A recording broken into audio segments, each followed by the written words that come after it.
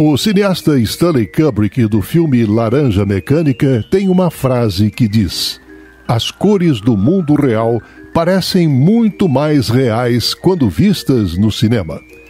Nos próprios títulos dos filmes, percebemos esse reflexo de realismo, esse obscuro objeto do desejo. Para aqueles de bons sentimentos, sempre é tempo de acreditar que os brutos também amam. Em meio aos discursos de ódio, muitos podem nutrir um sentimento de que meu ódio será tua herança. Muitos casais tiveram estremecimento de suas relações, ficando numa espécie de entre dois amores. Para os apreciadores de fake news, por certo, ficariam mais identificados com o filme Pinóquio.